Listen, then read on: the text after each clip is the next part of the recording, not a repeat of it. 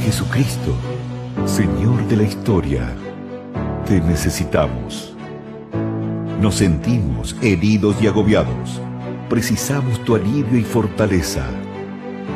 Queremos ser nación. Una nación cuya identidad sea la pasión por la verdad y el compromiso por el bien común. Danos la valentía de la libertad de los hijos de Dios para amar a todos, sin excluir a nadie, privilegiando a los pobres y perdonando a los que nos ofenden, aborreciendo el odio y construyendo la paz.